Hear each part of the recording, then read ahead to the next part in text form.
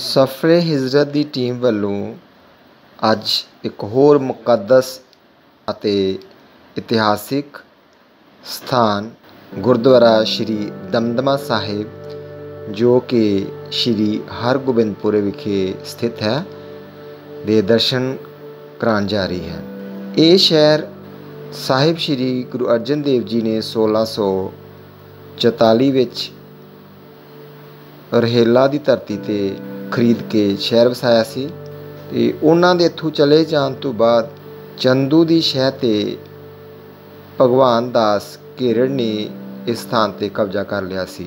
ਫਿਰ ਜਦੋਂ ਚਮਾਸਿਆਂ ਦੇ ਦਿਨਾਂ ਵਿੱਚ ਸਾਹਿਬ ਸ੍ਰੀ ਗੁਰੂ ਹਰਗੋਬਿੰਦ ਸਾਹਿਬ ਲਗਭਗ 1687 ਵਿੱਚ ਇਸ ਸਥਾਨ ਤੇ ਪਹੁੰਚੇ, ਪਰ ਉਹਨਾਂ ਦਾ ਵਿਰੋਧ ਭਗਵਾਨ ਦਾਸ ਕੇਰੜ ਨੇ ਕੀਤਾ।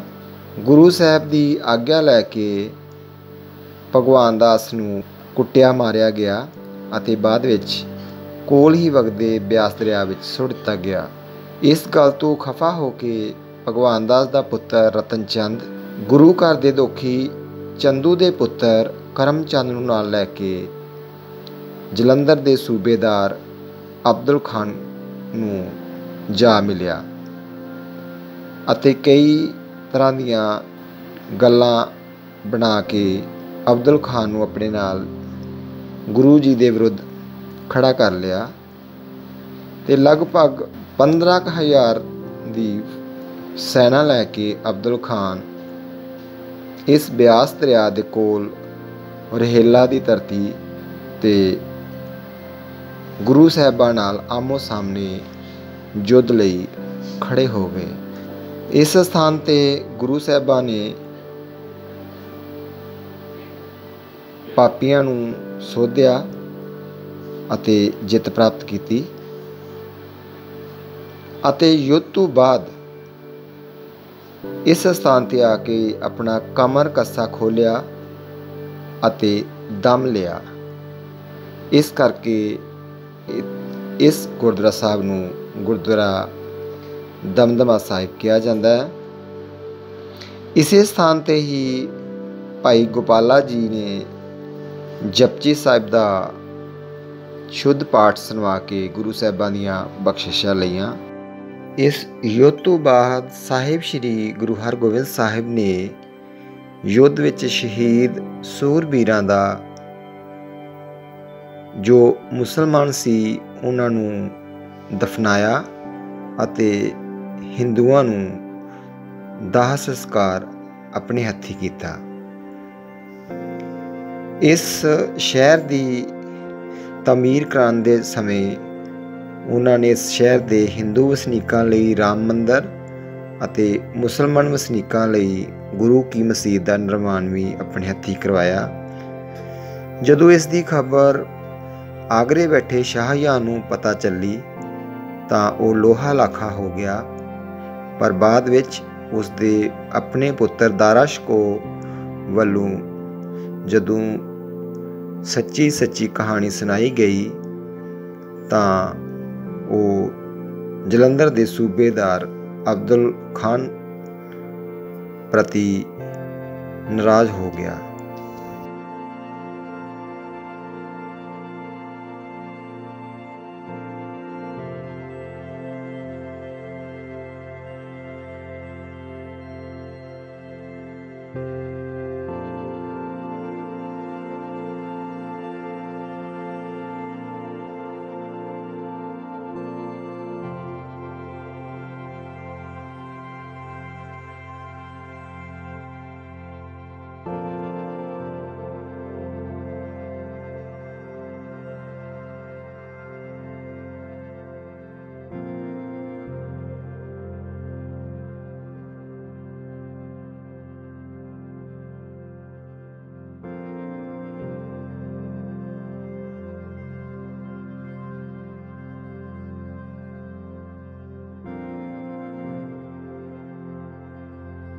ਗੁਰਦੁਆਰਾ ਦਮਦਮਾ ਸਾਹਿਬ ਦੀ ਬੈਕ ਸਾਈਡ ਤੇ ਉਹ ਪਵਿੱਤਰ ਸਥਾਨ ਹੈ ਪੀਰ ਜਾਨੀ ਸ਼ਾਹ ਦਾ, ਜੋ ਗੁਰੂ ਸਾਹਿਬਾਂ ਦਾ ਅਨੰਨ ਭਗਤ ਬਣ ਗਿਆ।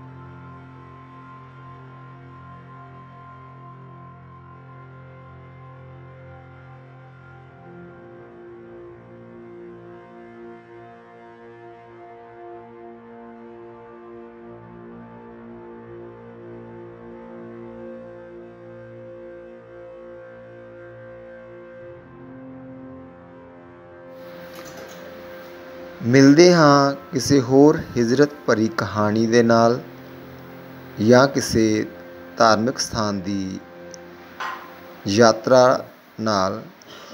ਤਦ ਤੱਕ ਖੁਦਾ ਹਾਫਿਜ਼।